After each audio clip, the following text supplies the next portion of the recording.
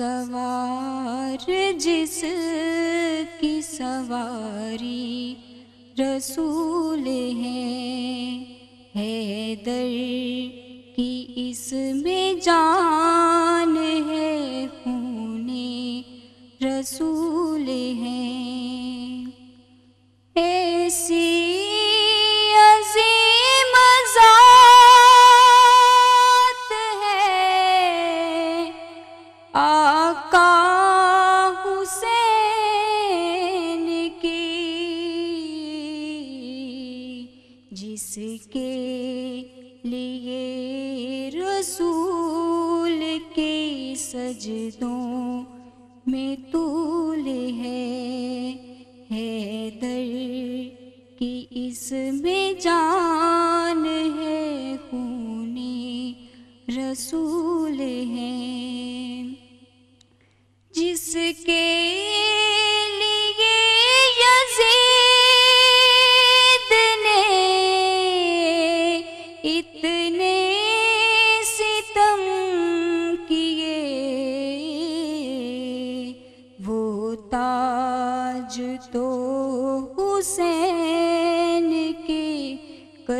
قدموں کی دھول ہے۔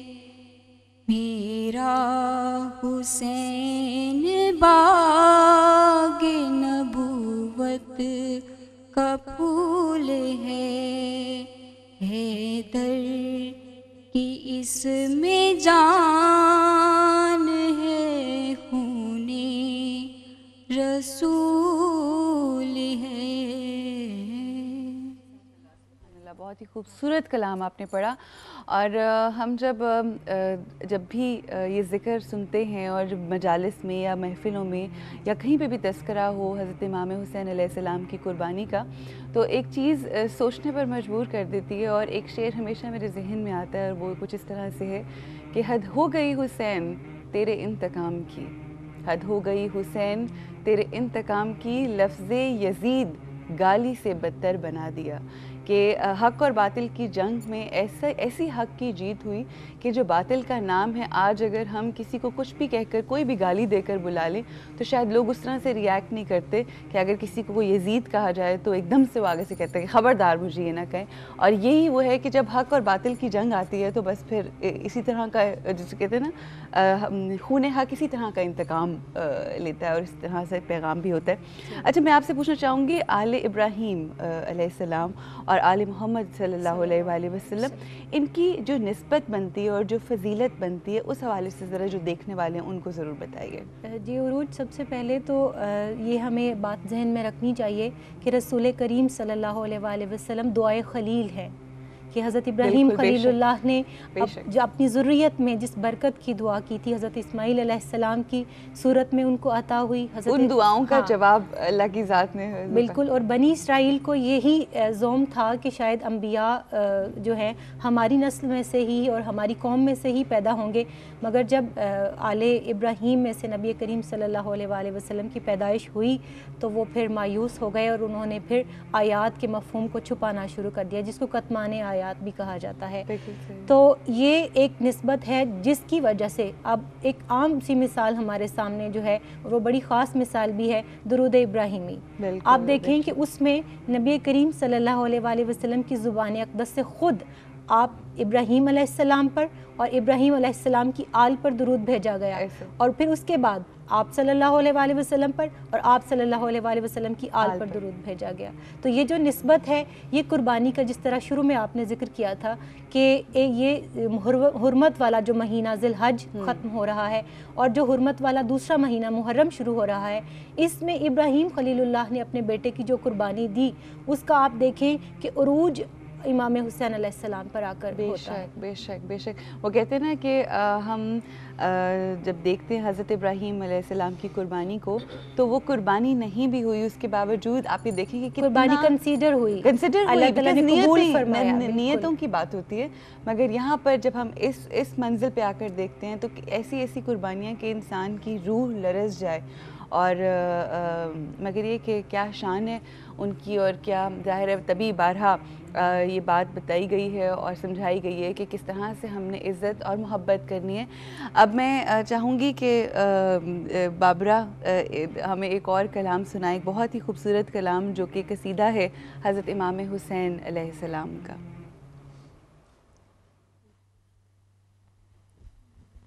صلوا علیہ وآلہ صلوا علیہ وآلہ صلوا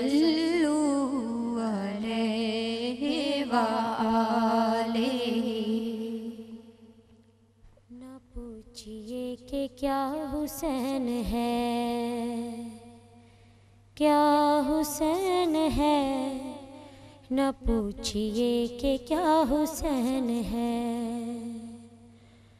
خدا کے دی کا نا خدا۔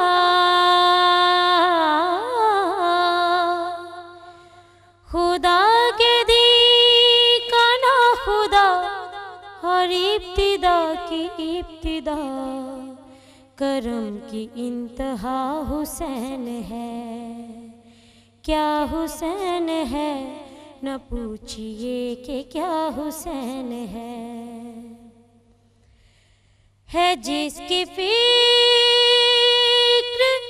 کربلا، حسین وہ دماغ ہے۔ یہ پنجتن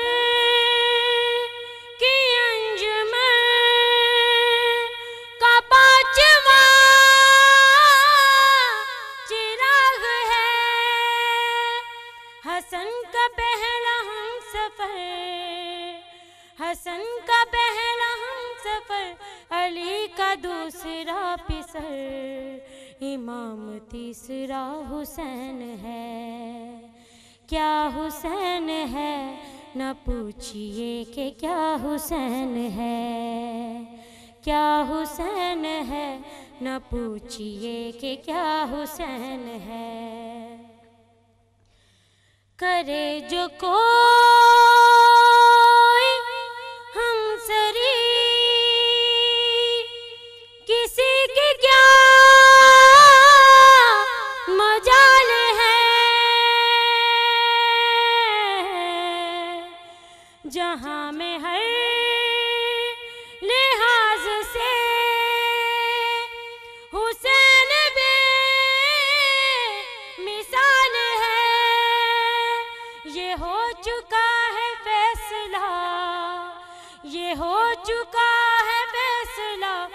کوئی دوسرا خدا، نہ کوئی دوسرا حسین ہے۔ کیا حسین ہے؟ نہ پوچھئے کہ کیا حسین ہے۔ کیا حسین ہے؟ نہ پوچھئے کہ کیا حسین ہے۔ اسیر شام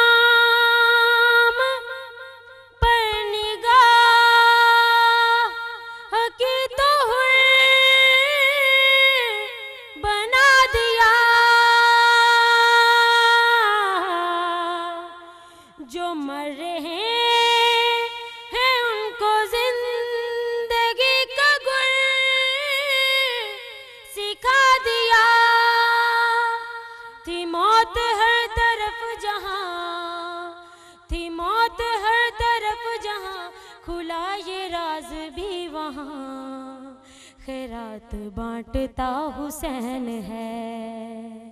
کیا حسین ہے؟ نہ پوچھئے کہ کیا حسین ہے؟ کیا حسین ہے؟ نہ پوچھئے کہ میں آنے دشت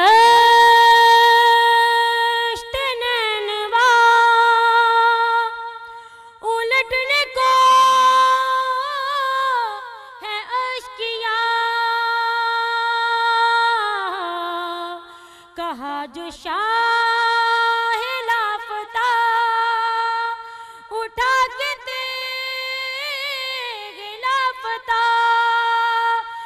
لگی جو سر اتارنے۔ لگی جو سر اتارنے، کہا یہ زلف کار نے غضب کا تورباں حسین ہے۔ کیا حسین ہے؟ نہ پوچھئے کہ کیا حسین ہے۔ کیا حسین ہے؟ نہ پوچھئے کہ کیا حسین ہے۔ خدا کے دیکھنا خدا۔ خدا کے دیکھنا خدا، ہر ابتدا کی ابتدا۔ کرم کی انتہا حسین ہے۔ کیا حسین ہے؟ نہ پوچھئے کہ کیا حسین ہے۔